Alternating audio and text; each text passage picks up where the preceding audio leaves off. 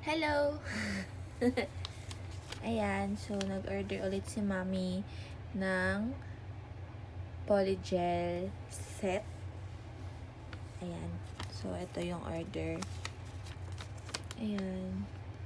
So, meron polygel, may nail art, meron ding fake nails.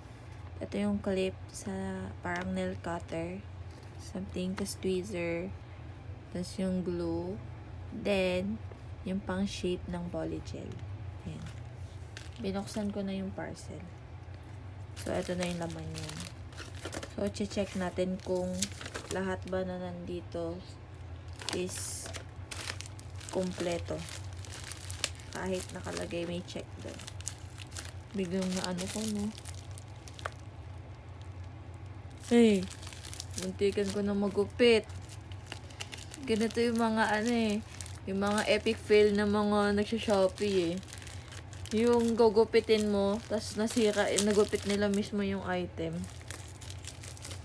Ayan. Nagupit ko yung akin. Ito yung lalagayan lang. Ganun. Oh, ito na.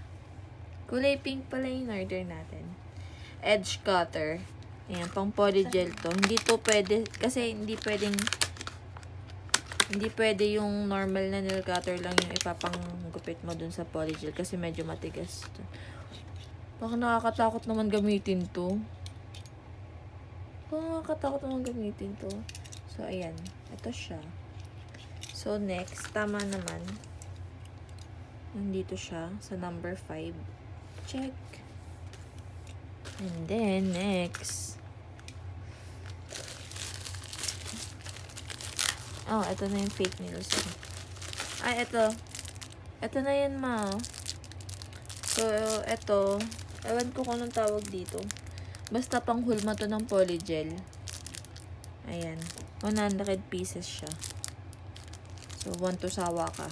Kahit anong gawin mo dyan, want to sawa ka mo. Polygel. Then, ito yung pinili na fake nails ni Mami. Ayan.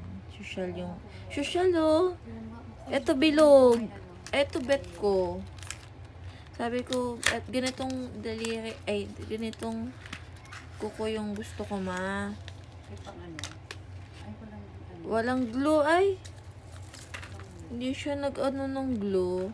Pero nakita ko sa reviews, may glue. So, siguro, ano, nanigas na yung glue nila. Kaya hindi nila nang binigay. Kesa magreklamo pa tayo sa kanila. So, ayan. Ang cute. Ganitong shape ng kuko yung gusto ko, ma. Ay, ito to, ma. Ah, ito, glue.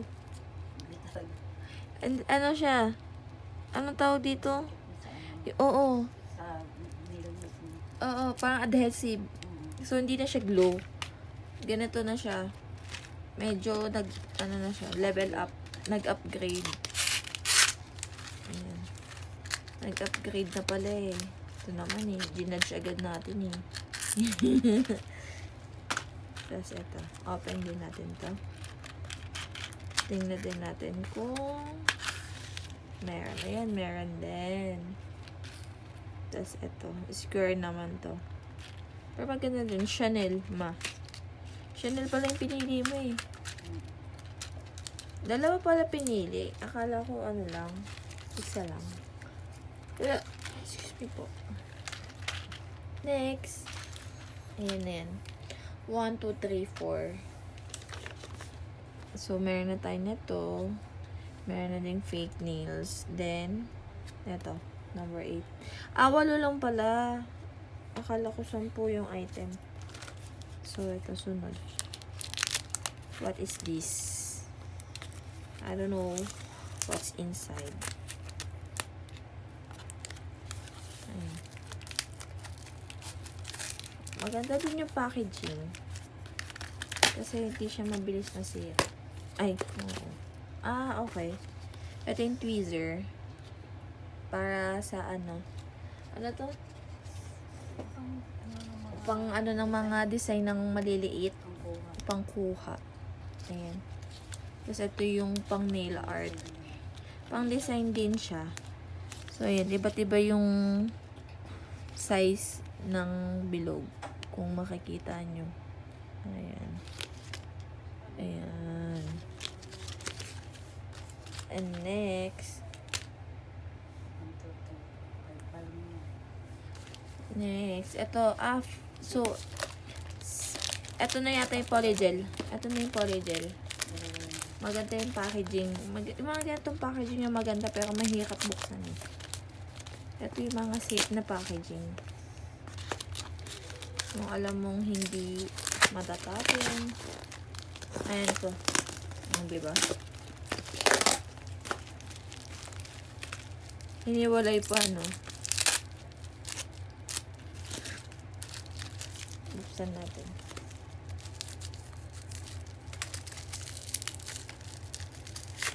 Oh. Uy, medyo mabigat siya ma. Polyurethane liquid latex. Ah. Ito yung ilalagay, ito yung ano, yung dito sa gilid. Na. magko-cutics ka. Ayan. Tapos lalagay mo dito.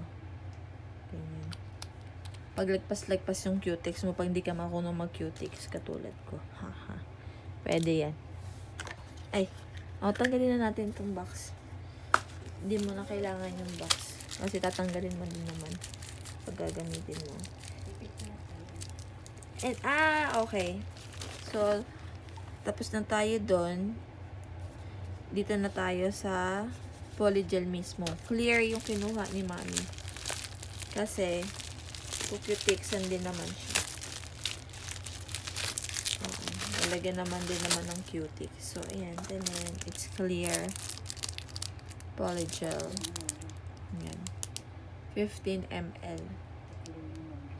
Tatlo in order. Tatlo in order para ano,